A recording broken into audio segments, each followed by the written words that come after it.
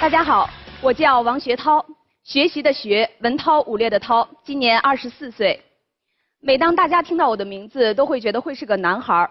这是我的爷爷为我取的，他希望我能像男孩一样坚毅果敢、能文能武。因为从小的从军梦，在我十八岁那年，我非常荣幸的来到了中国最高军事学府国防大学，成为了一名军乐女兵。当兵六年，让我感触最深的就是部队严明的纪律和集体的力量。也正是因为有了这段经历，锻炼了我坚强的毅力和持之以恒的信心。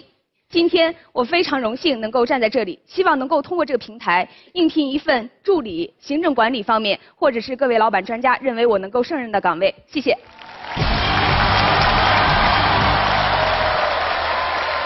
王学涛都喜欢取男人的名字。呃，因为我的名字是呃，因为爷爷确实想有一个孙子，但是到我们这边确实没有。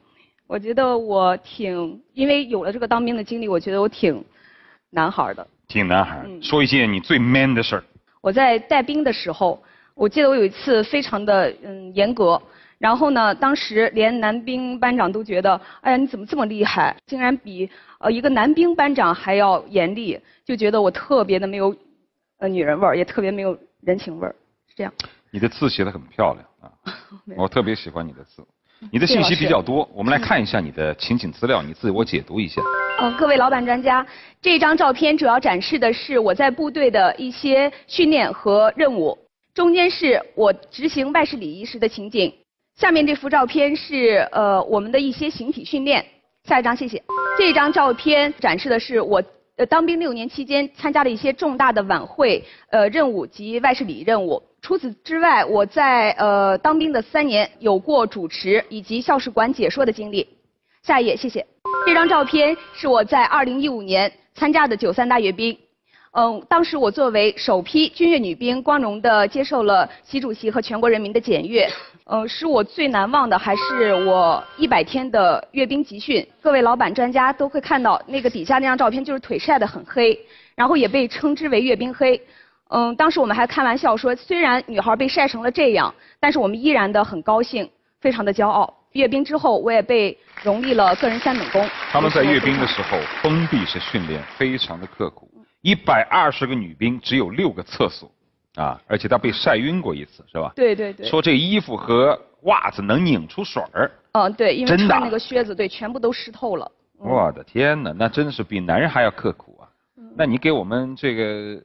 喊个口令，我整三个老板出来，然后你就按照这个阅兵封闭式训练其中的一个科目，来锻炼他们，看看你这个飒爽英姿的一面，好不好？我给你挑仨啊，肯那个肯定是要挑的嘛，王金明肯定是要挑的啊，来老叶来一个，啊，秦帅来一个，嗯，来，来再来一个姚一波，来快点，四个人就交给你了啊，这四个人啊，你按一个科目来锻炼他们。千万要严格啊！好，首先请各位老老板多多包涵啊。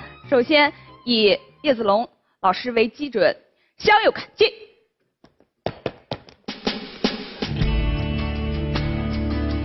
所有人都有向前看。好，我们现在并没有看齐，各位老板请看你们脚底下。不要叫各位老板，这都是你的兵，都是炊事兵。对，像。你可以随意扇他们。报告班长，第三个兵怎么那么傻呀？笑的。我觉得第四个傻，你怎么是第三个傻？不要争论。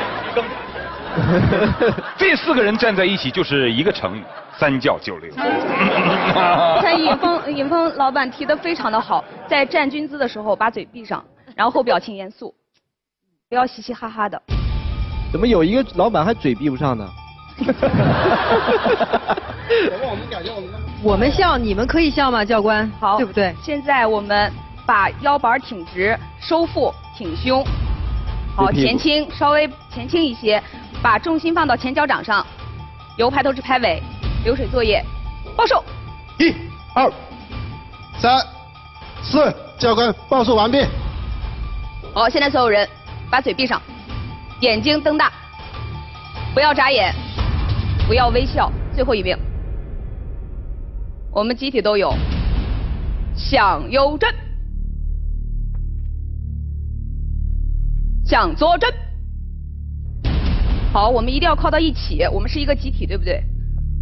我们喊一二，一的时候统一，啊，一的时候我们统一，啊，这样，二的时候我们统一靠脚，向右转，一二，向右转，一二。好，由叶子龙开始喊一二，根据他的速度来做，所有人都有向右转，一、二，你也要和他们一起向右转，一、二，差不多，差不多。感觉怎么样？这教官怎么样？怎么样？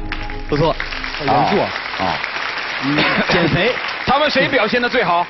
我认为总体而言的话，还是叶子龙老板啊，谁表现的最不好？都后面三个都并列倒数第一。我想大呃各位老板都应该看过三军仪仗队吧？三军仪仗队的人都应该是前倾站好了，面部表情应该很严肃，呃上台二十公呃二十二十度，嗯不能是这样塌腰撅屁股的状态。教官，我认为今天的那个那个训练不够严格，还不够难度不够高。你没好发他俯卧这样撑，你一个人留下来啊，你们可以走了啊。谢谢各位老师。给他吃小灶。教官，交给我啊。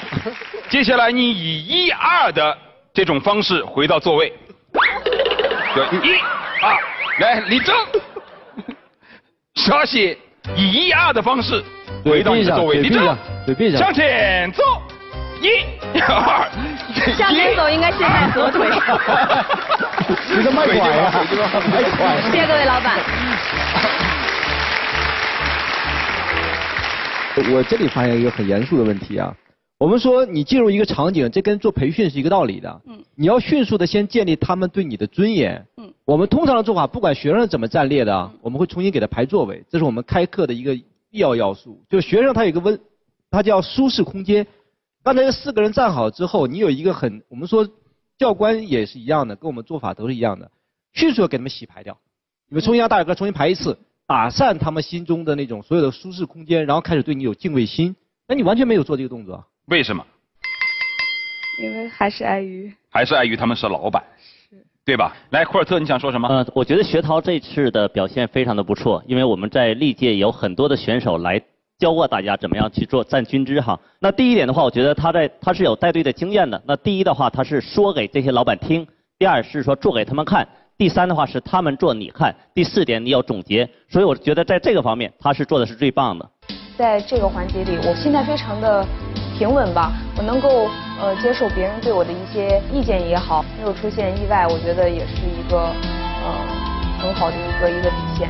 啊，你今天应聘的是行政和助理，我觉得很适合他啊。非常的合适你要求薪资多少？我要求的薪资是六千，你现在是已经是退伍了吗？还是呃，我刚刚退伍，刚刚退伍啊？嗯刚刚要求六千，有地域的限制吗？没有地域限制。除了行政和助理，其他的干不干？嗯，如果是呃我如果是各位老板的或者是专家，如果给我建议，我会考虑。来，第一轮选择去火力。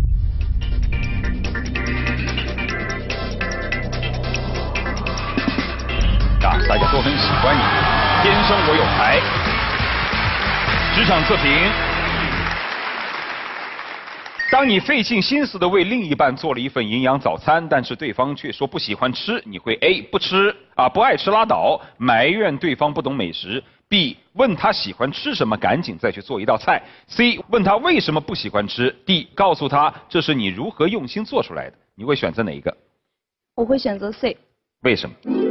嗯，就是我会直截了当，为什么不喜欢吃，而且是我就是，呃，花了心思去做的。我觉得这个是我第一个，就是脑海里忽然一过。刘家勇，你选哪个？我选第二个。问他喜欢吃什么，赶紧再去做一道菜。因为因为如果因为我们这半边全吐了，我跟你因为。如果我爱他，他他不喜欢吃，你问他为什么也没有。你这种人应该是选 A 的呀，不爱吃拉倒啊。我觉得刘家勇会选 B D 第四个，就是他一定要告诉别人哎你们都在猜测我，没有一个人真正走近我。因为旁观者清啊。因为我我是为我心爱的人是能做很多事情的。啊，嗯，三位老师，这道题考的是什么？呃，这个这道题主要还是在考核你的性格跟你的处事的方式。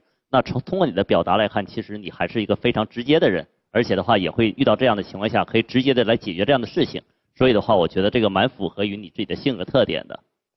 所以在刚劲的外表之下，其实是一个非常单纯的心。接下来，他还给我们来一段舞蹈和手风琴，掌声欢迎。